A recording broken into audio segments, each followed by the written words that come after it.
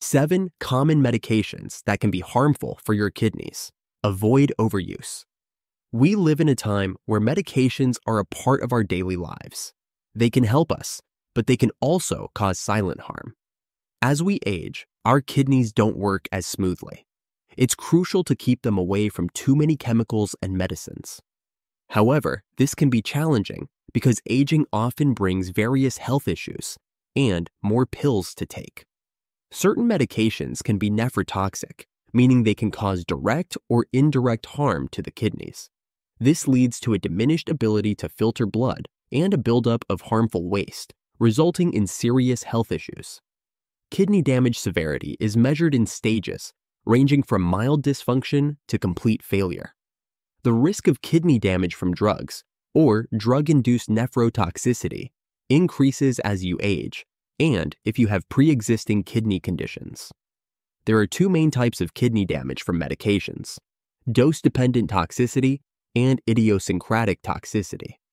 Dose dependent toxicity means that damage increases with higher doses. In contrast, idiosyncratic toxicity is unpredictable and varies greatly between individuals. Sometimes it's best to avoid these drugs altogether. Drug induced nephrotoxicity can result from muscle tissue breakdown, rhabdomyolysis, kidney tissue death, renal infarction, and acid buildup, renal tubular acidosis. This can lead to decreased kidney function and other conditions like nephrotic syndrome or electrolyte imbalances. In this video, we'll explore the impact of common medications on kidney health and provide practical tips for managing these drugs safely. Understanding the risks associated with these medications can empower you to make informed decisions about your healthcare. Stay tuned and learn how to protect your kidneys while effectively treating other medical conditions. Before we dive in, kindly note that all the information you'll find in this video is produced by humans for humans. We do not use artificial intelligence writing tools like ChatGPT to automatically generate content. Be assured our information is thoroughly fact checked, unbiased, and reviewed by qualified professionals. All right, it's time to swing back to the medications that can be harmful to your kidneys. 7. Antibiotics. Antibiotics are prescribed often, but they are not without risk.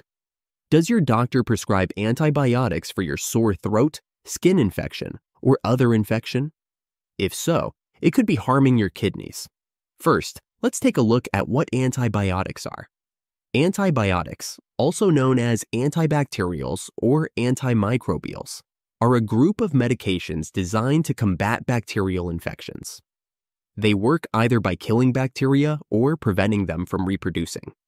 You can find common antibiotics with brand names like Cipro, Augmentin, Flagyl, Bactrim, or amoxicillin. These drugs could be prescribed to treat strep throat, pneumonia, urinary tract infections, UTIs, or skin infections.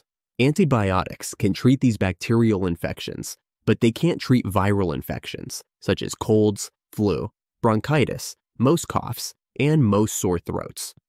So, you should be extra cautious when your doctor prescribes antibiotics. If prescribed improperly, you might experience side effects such as diarrhea and liver and kidney problems. Even when properly used, some antibiotics, such as polymyxins, aminoglycosides, and vancomycin, can harm your kidneys. Simply put, your kidneys play a crucial role in removing antibiotics and other drugs from your body. But beware, antibiotics like polymyxins may damage kidney cell membranes, possibly causing kidney injury. Similarly, another antibiotic, aminoglycosides, can accumulate in kidney cells, causing cell death and harming kidney tubules. In general, the mechanism by which each antibiotic causes kidney injury is still not fully understood, but it might involve inflammation and harm to kidney cells. For antibiotics to be effective and safe for kidney health, it's important to use them correctly. Did you know that nearly one third of antibiotics prescribed in the United States aren't even appropriate for the conditions being treated? That's according to a report from the Centers for Disease Control and Prevention, CDC, and a study published in the Journal of the American Medical Association. Before you ask for an antibiotic, or if your doctor prescribes one, knowing which conditions they can treat is important. You can ask them, Is this necessary? And most doctors will gladly explain why it's needed. If antibiotics are truly needed, follow the dosage exactly as instructed and adhere to any food requirements. Even if you feel better, never save antibiotics for future use or give your prescribed antibiotics to someone else, as prescriptions are tailored to individual health needs and conditions. Are you enjoying our video so far? If so, please give us a like and we'll make more content like this. 6. Non-steroidal anti-inflammatory drugs, NSAIDs. Some may not recognize the term non-steroidal anti-inflammatory drugs, NSAIDs, but you've likely heard of ibuprofen, aspirin, Motrin, ketorolac, celecoxib, or naproxen. Yes, they're all NSAIDs, and you can purchase some of them without a prescription. In fact, NSAIDs are very common. Over 30 million people take them daily.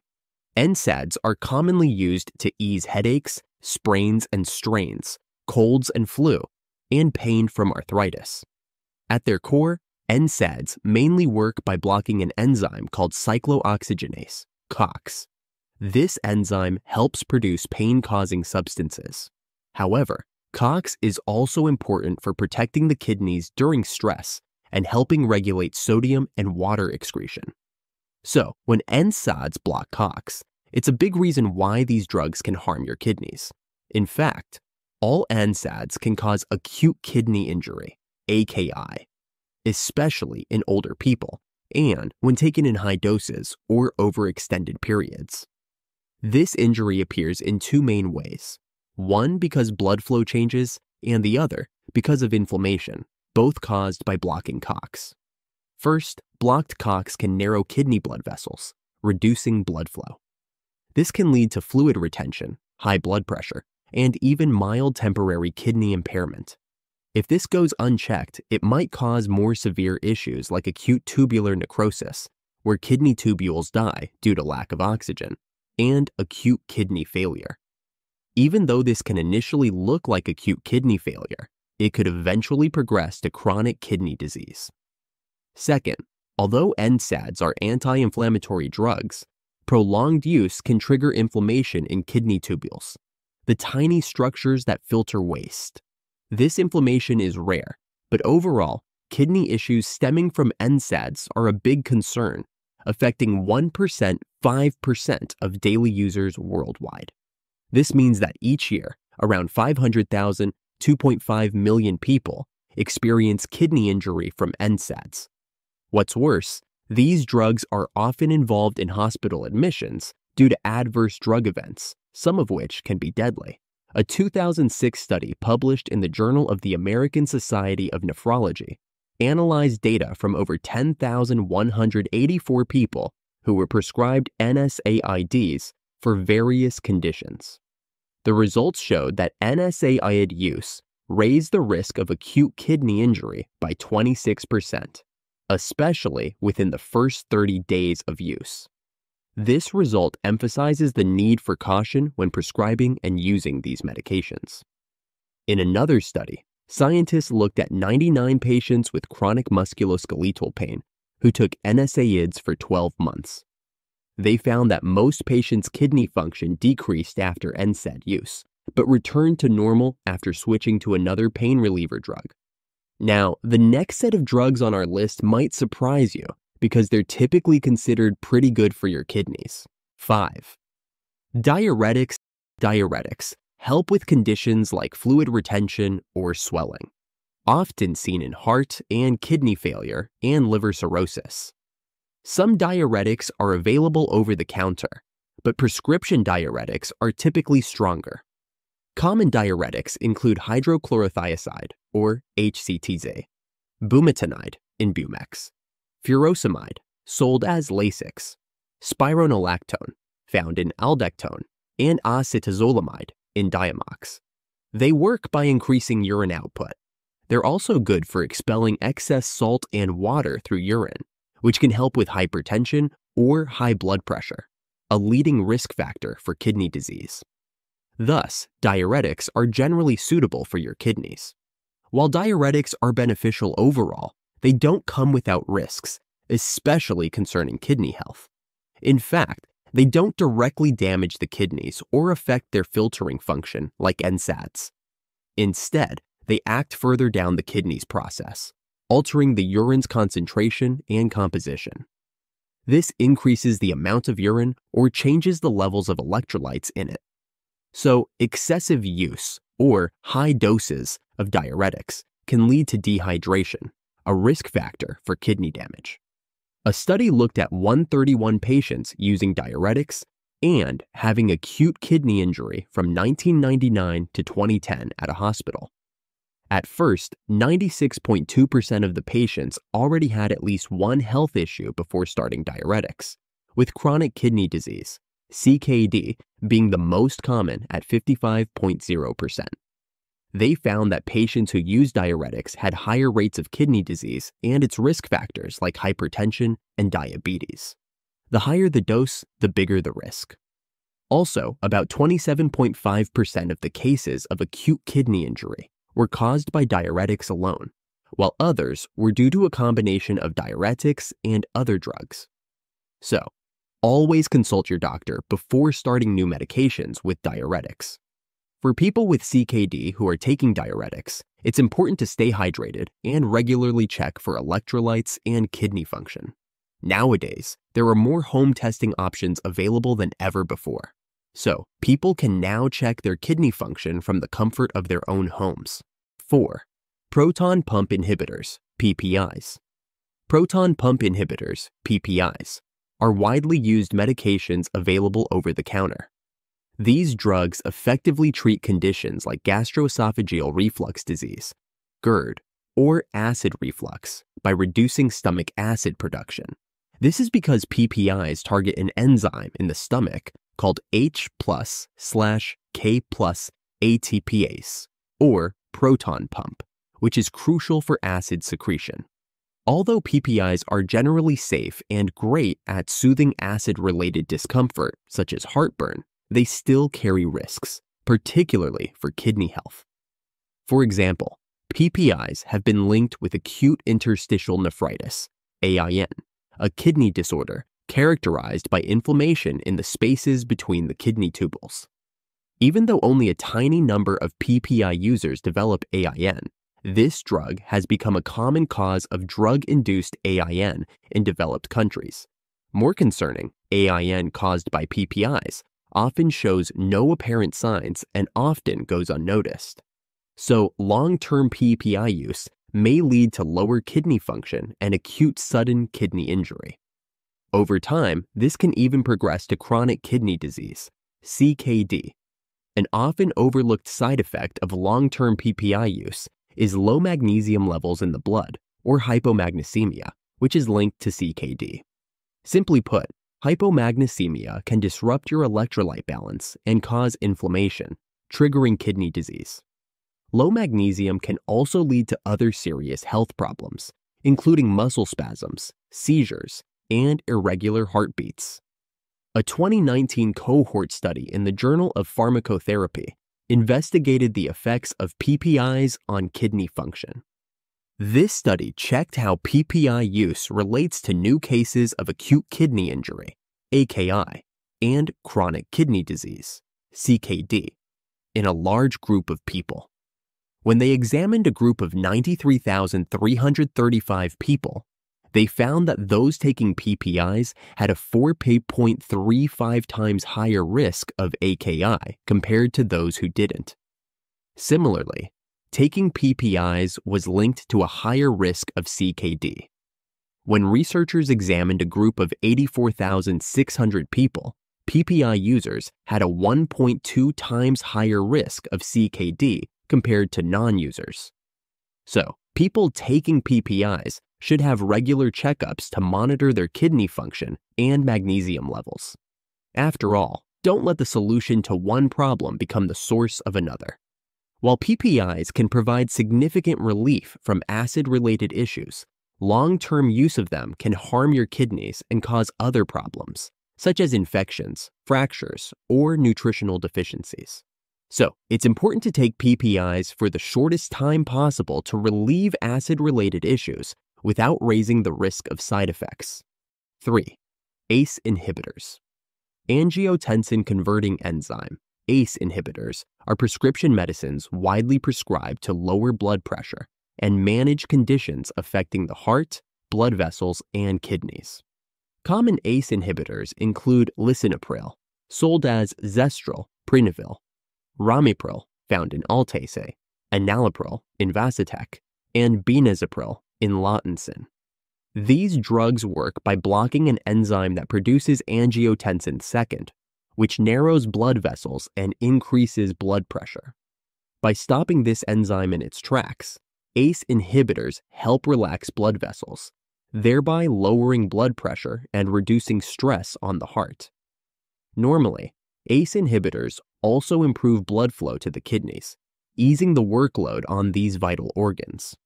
This enhanced blood flow can protect the kidneys, especially over the long term. Moreover, ACE inhibitors may help reduce the presence of protein in the urine, a common problem in chronic kidney conditions. In fact, ACE inhibitors are commonly recommended for people with kidney disease. While these medications boast protective benefits, they're not without risks. When you mix them with NSAIDs and diuretics, your risk of AKI can increase. Also, when you don't drink enough water to meet your body's needs, taking ACE inhibitors can put you at more risk of AKI. If you're concerned about your risk of AKI when taking these drugs, it's best to talk to your doctor about ways to lower it. Some people are concerned that ACE inhibitors might decrease your estimated glomerular filtration rate, EGFR. Typically, a higher EGFR suggests better kidney function. However, ACE inhibitors reduce EGFR by relieving pressure on the kidneys, allowing the small filters, called glomeruli, to relax.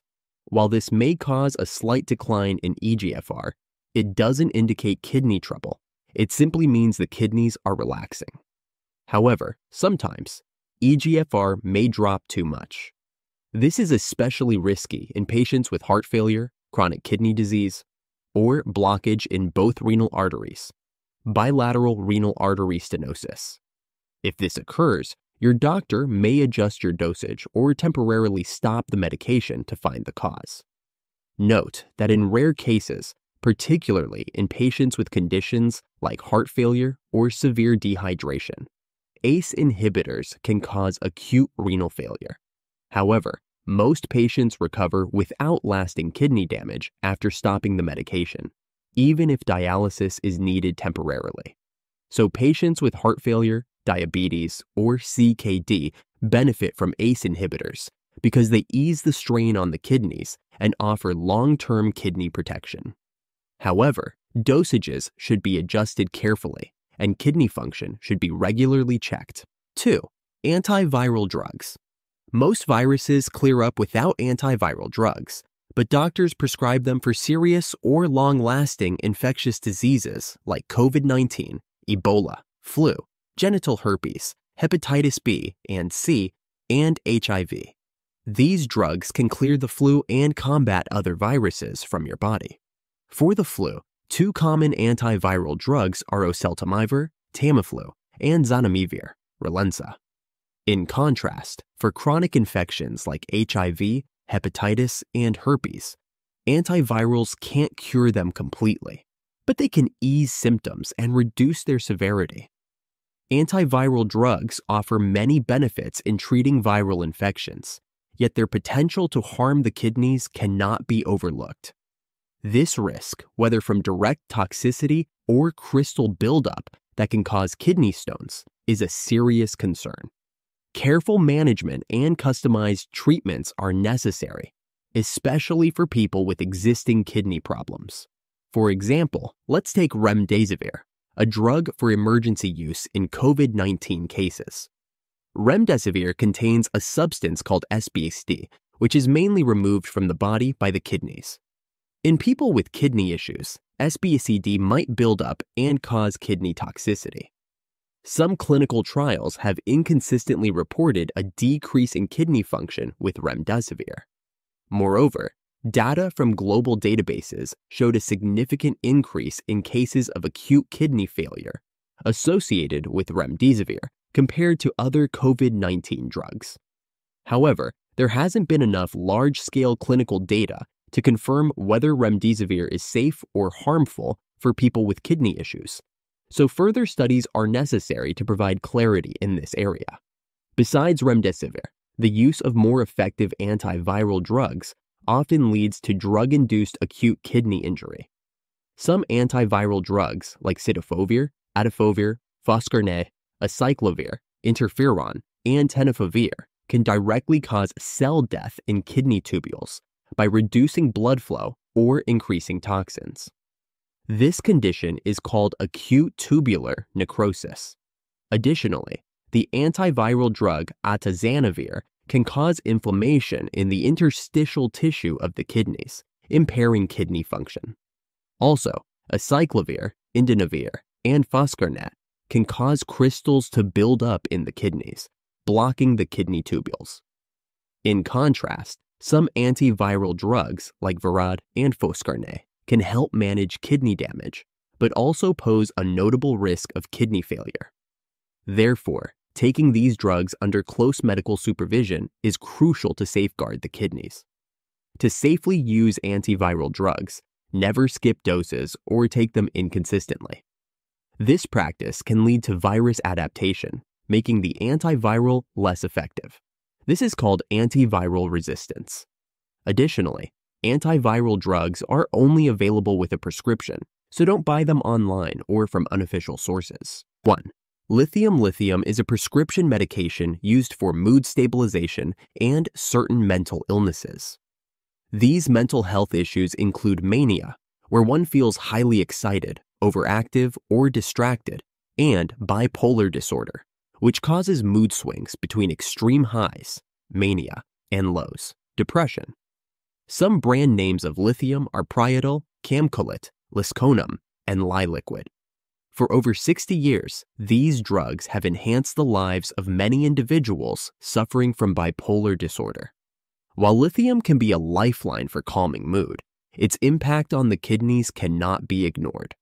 Long term use of lithium can lead to some serious kidney issues, including both acute and chronic kidney disease as well as kidney cysts. Early on, kidney damage from lithium might be reversible, but it could become permanent with time. The main issue with lithium use is a type of diabetes linked to kidney damage, called nephrogenic diabetes insipidus. This isn't your typical diabetes caused by high blood sugar. In this condition, your kidneys can't respond properly to a hormone called antidiuretic hormone, ADH, which controls fluid balance. The result? Excessive thirst and frequent trips to the bathroom. In rare cases, long term use of lithium can even lead to end stage renal disease, ESRD. Symptoms of kidney trouble from lithium include excessive urine output and thirst, frequent nighttime urination, and signs of dehydration like low blood pressure and a fast heartbeat. In severe cases, it can cause changes in mental status. Moreover, Lithium can make the kidneys excrete too much sodium, a condition known as hyponatremia. Sudden hyponatremia, where sodium levels drop quickly in less than 48 hours, can cause serious problems if not treated, including life threatening muscle breakdown, or rhabdomyolysis, severe confusion, seizures, coma, and even death so patients should maintain a regular diet with enough salt and fluids while taking lithium. Moreover, when on lithium, it's important to define a suitable dosage, get yearly blood tests to check creatinine levels, and seek medical help if anything seems wrong. Lithium can harm you in many ways, not just by damaging kidneys. So, before starting it, let your doctor know if you have kidney, heart, thyroid, or breathing problems, Addison's disease, or Brugada syndrome. Extra tips for cautious use. Do you suspect that your medication is affecting your kidney health? It's important to seek medical advice right away.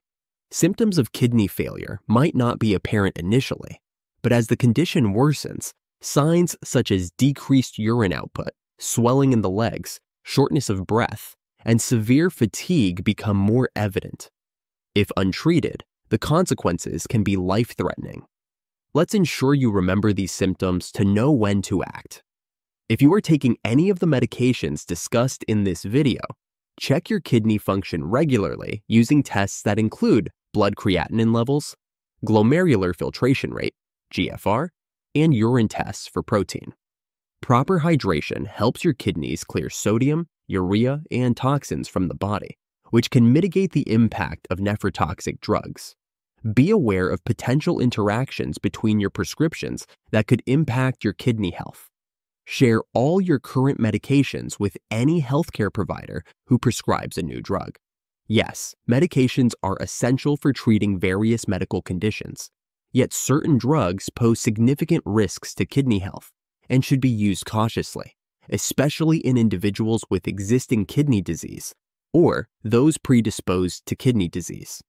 Antibiotics, NSAIDs, diuretics, proton pump inhibitors, ACE inhibitors, antiviral drugs, and lithium all have the potential to impair kidney function through mechanisms ranging from direct toxicity to effects on renal blood flow and electrolyte imbalances. For those with kidney disease, it is crucial to avoid or carefully manage the use of these medications. Patients should work closely with healthcare providers to select treatments that minimize risk to the kidneys, adjust dosages as necessary, and monitor kidney function regularly. A healthy lifestyle can help you keep medication to a minimum. Try to eat a balanced diet with lean protein, fruits, and vegetables, and exercise regularly to protect your kidneys from any damage. And if you're serious about mastering your kidney health and understanding how the body works, make sure you subscribe to us. Hit the bell icon and turn on all notifications so you never miss a life saving video. If you enjoyed this video, we believe you'll enjoy the video on the screen. Here, we share the worst 18 habits that may be harmful to your kidneys and tips to avoid them. See you there. Stay informed, stay healthy. If you liked the video, put a like, subscribe to the channel, activate the little bell to stay updated for upcoming videos.